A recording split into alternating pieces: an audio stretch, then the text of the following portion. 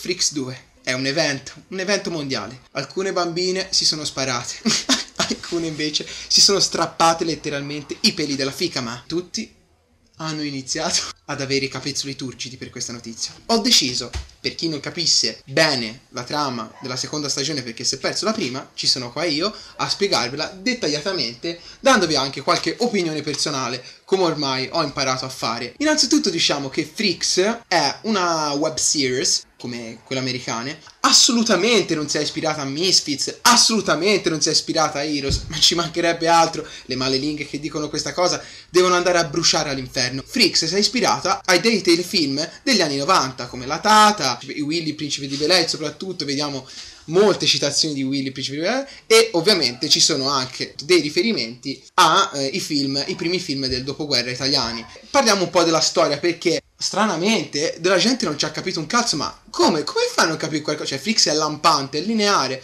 un po' come non lo so, un, un pene. Allora, vediamo come parte la storia? Ci sono cinque ragazzi che vanno in discoteca, una cosa particolarissima dite voi, e infatti è particolare. Ci sono mari- varie storie, diciamo, intrecciate, cioè uno chiede un pompino a una, uno si accoppia con un cartello, la Genolini sta con un barbapapà, poi c'è un ragazzo che tromba, che, che è Guglielmo, tromba stranamente, tromba, tromba, tromba, tutto fo, e c'è questa ragazza che è un po' delusa la sua prestazione perché stranamente Guglielmo ha una sleppa così però in questo freak cioè, forse c'è il pipino e dura poco. La cosa che mi ha colpito subito di questa parte possiamo dire è la, l'interpretazione di Guglielmo perché Guglielmo non tromba così ho avuto modo di conoscerlo ne, nell'intimo e Guglielmo tromba come è nella vita però Guglielmo è una persona metodica quindi se tromba ci mette la serietà fa firmare dei moduli eh, si fa un bidet completo con pera calda e poi parte parte all'attacco ma parte così è un cinghiale delle Antille, ma che comunque sia rimane molto, molto serio. E anche la sua parte dice: Io cazzo, sto trombando con Guglielmo Scilla, giustamente devo essere molto serio. E qui invece si, si sfa, oh, sudori, boccoli che vanno da, dappertutto. Guglielmo, bravo per la tua prestazione, non solo attoriale, perché poi ovviamente ha schizzato. Allora, poi allora, succede un evento strano, diciamo che i destini, i destini di questi cinque ragazzi si intrecciano per un incidente stradale perché la Genolini sta per toccare l'interno coscia del suo barbapapà e il barbapapà perde il controllo perché non vede più nulla. Anche, anche, la dota attoriale di quel ragazzo è non ci vedo, mamma mia, non ci vedo, dove andrò, dove andrò, incidente. E poi questi ragazzi hanno un attacco di colite e svengono per terra. Si risvegliano con Lois Griffin in una tavola imbandita stile ottocentesco.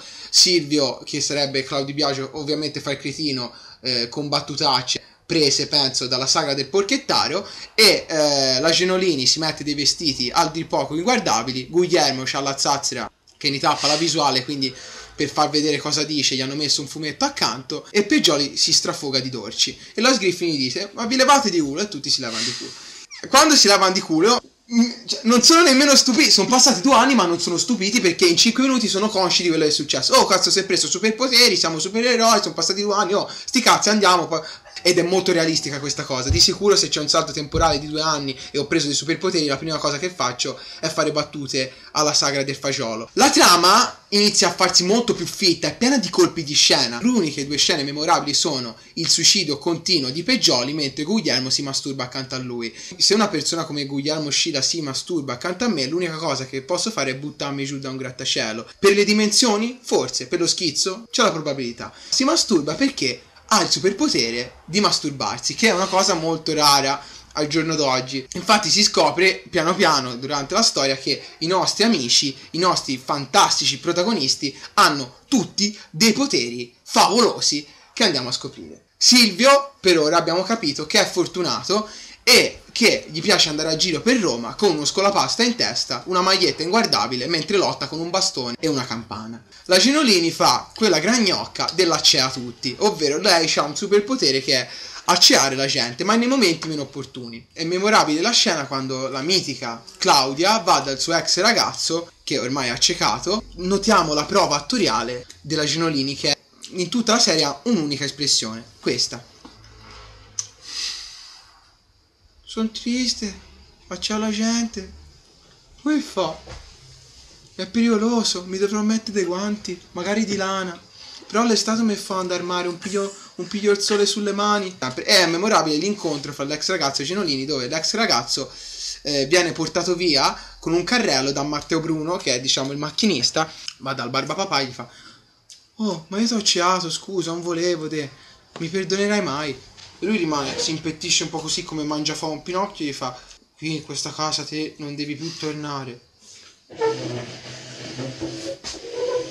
Peggioli ha il potere di manifestare le proprie emozioni con gli altri, cioè se lui piange, piangono anche quell'altri. Mi chiedo se lui praticamente eh, un giorno va in ascensione e gli scappa la popò, cosa potrebbe succedere. Non lo voglio sapere. Poi abbiamo Gianmarco Speziale, che è il cantante degli About to Wayne, che ha fatto la colonna sonora di Frix ha recitato una piccola parte. E poi, come ultimo personaggio, abbiamo la vampiressa Bona, che come ultimo, come consiglio che gli potrei dare è non succhiare solo il sangue. Bene, a parte questo, abbiamo, dopo questa scena memorabile del grattacielo, Frix diventa addirittura tutorial perché c'è un tutorial su come dissotterrare un cadavere, che è una cosa fantastica perché chiunque può sotterrare o dissotterrare un cadavere lo può carpire grazie ad Andrea Baglio e quella gran topa della vampira di Frix. Poi dopo questo il nulla, io non ci ho capito più un cazzo, se ci avete capito qualcosa voi contattatemi a Piero Fasuli, chiocciolottovai.it per me Frix è questo, 5 cretini che hanno dei poteri, dei superpoteri del cazzo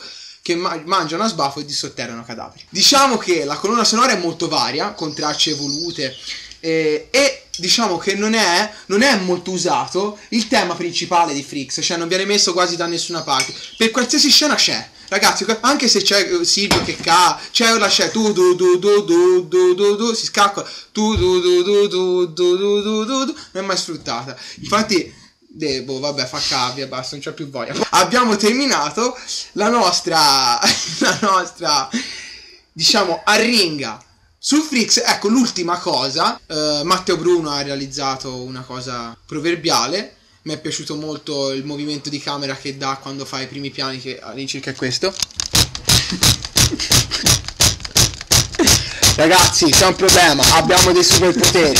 Questo mi è piaciuto molto come cosa, perché dà un, comunque una nota alla Sundays. No?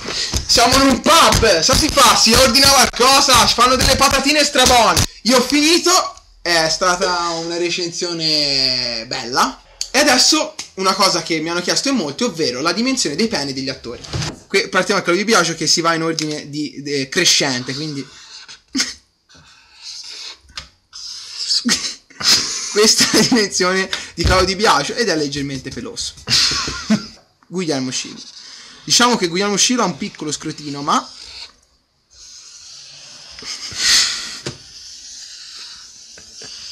Diciamo che ce l'ha campanula. Ecco, importante. Ok. Che un pochino. la Genolini. Eh, la Genolini ce l'ha normale. Però c'ha fungo. Vedi. No, Matteo Bruno è così. Diciamo.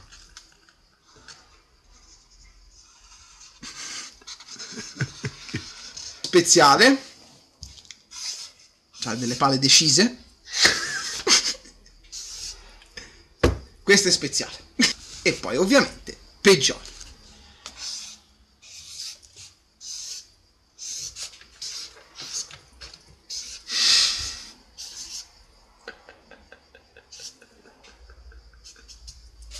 Questo è il pene di peggiori. E invece questo è il pene mio quando vedo la vampiressa. Ovviamente lo faccio in scala 1 a 6000. Importante la scala.